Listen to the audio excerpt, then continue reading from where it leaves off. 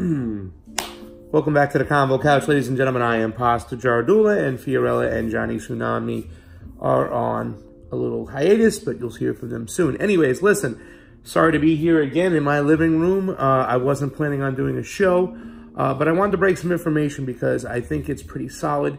Uh, we're still looking for a little bit confirmation, so I can't give it a thousand percent stamp of approval, but the sources that it's been coming from have been on on point, and I want to put it out there right now since it's coming from those same sources.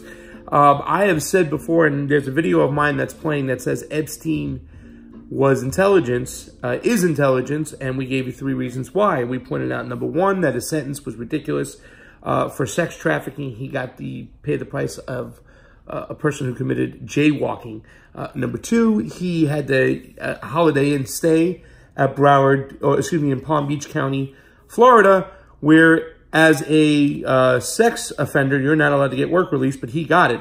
And he got unsupervised work release, and in fact, had his own part of the jail, and he checked in maybe once a week sometimes, they said, slept there a couple nights. It was ridiculous. So that's another point that shows that somebody up top was pulling the strings. And number three, he had an agreement to have 34 mandatory check-ins in Manhattan in a substation as he has his apartment registered there and he had to register as a sex offender and meet those requirements. If you miss one of those, you're subject to four years in jail.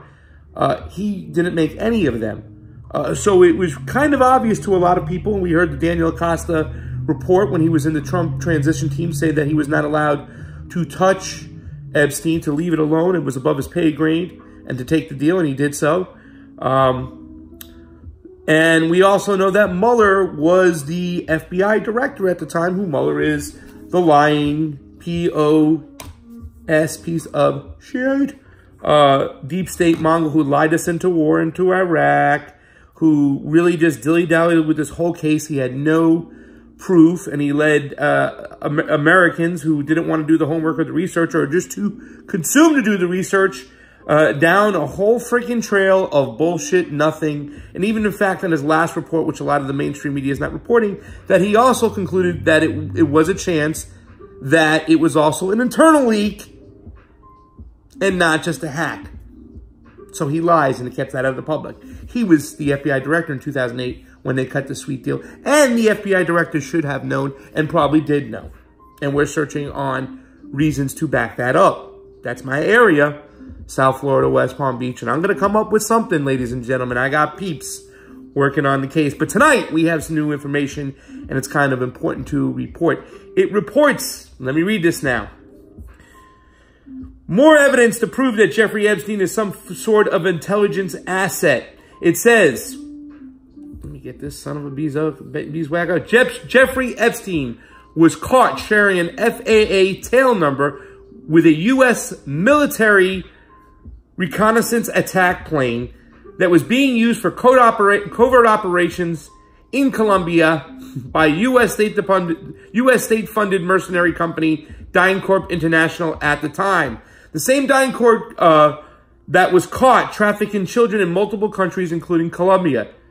It means that Epstein's helicopter would be able to bypass border security checkpoints and elude law enforcement.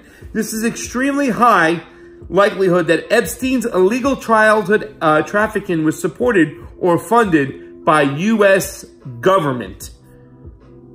So, and you see in the tweet, it says, someone had to approve this. Tis, tis. It's not looking good for the elite. Two years of slow moving through all this info and finally speeding up and coming to light. Not going to see that on CNN.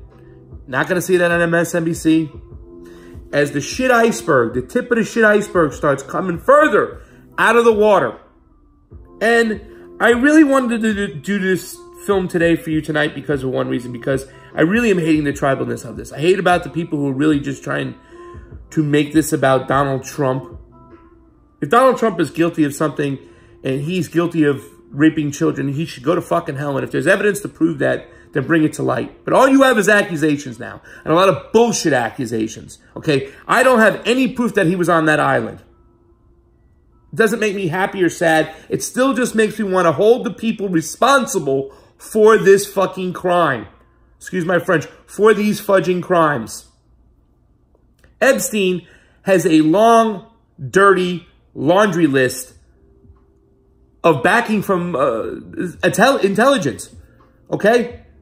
And that, and if you want to start making this all tribal, really, I mean, I can't understand why. I mean, yes, I do understand why you, you do hate Trump. Even the, even the thing today where, you know, uh, excuse me, the other day when he's telling people to go back to their own country. If you don't like it, leave. All I'm saying is if they want to leave, they can leave, John. They can leave.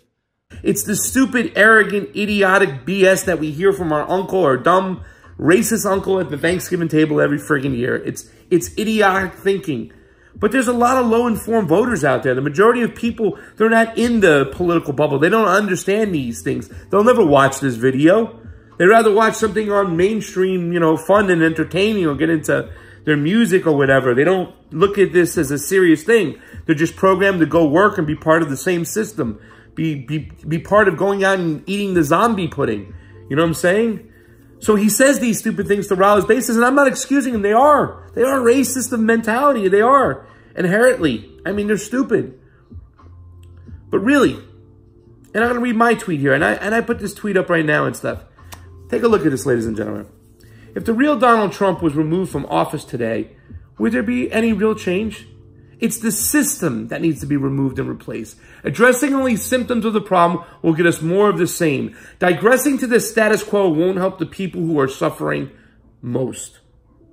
Ladies and gentlemen, this isn't about politicians. This isn't about parties or people. Stop being so damn tribal.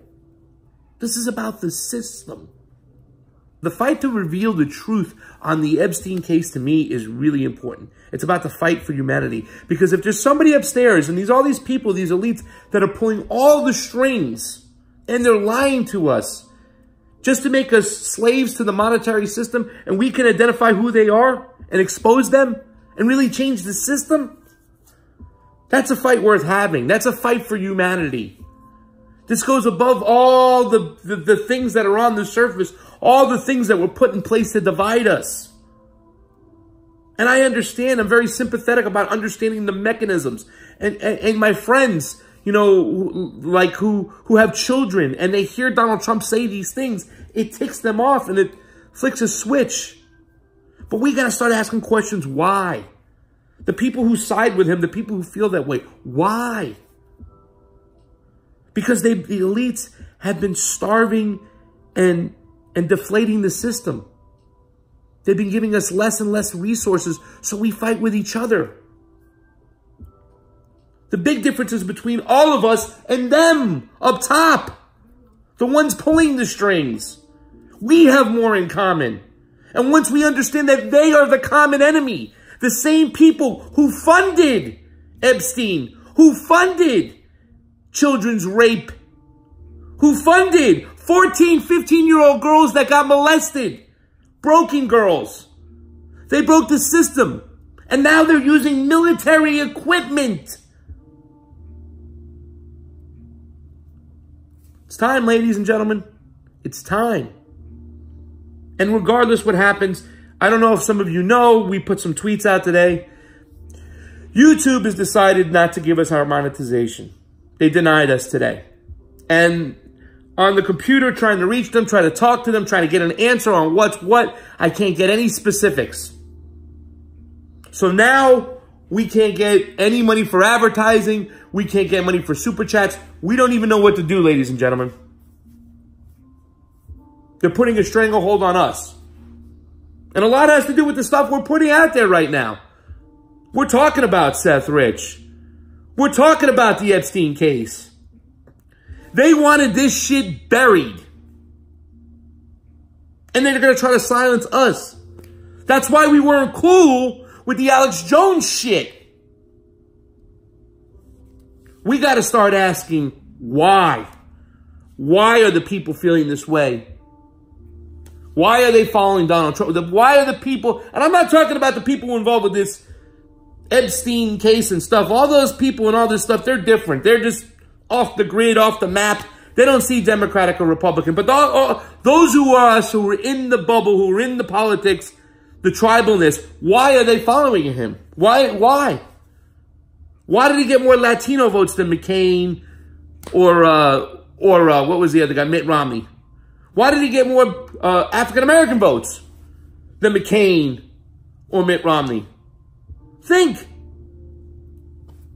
We got to ask why. It's not about the party. It's not about the politician. It's about the system. And it's about to go down.